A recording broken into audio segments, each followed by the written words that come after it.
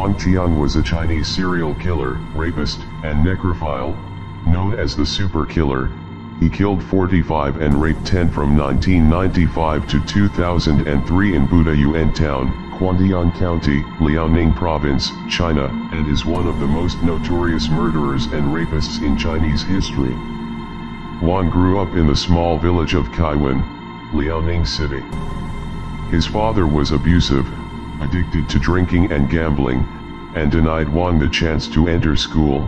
Wang committed his first murder on January 22, 1995. Wang Qiang would rob, beat, and rape some victims post-mortem. He was arrested by the Shenyang police in 2003. After interrogation, he confessed to murder, rape, robbery and other various crimes. Wang Qiang was sentenced to death and executed in 2005.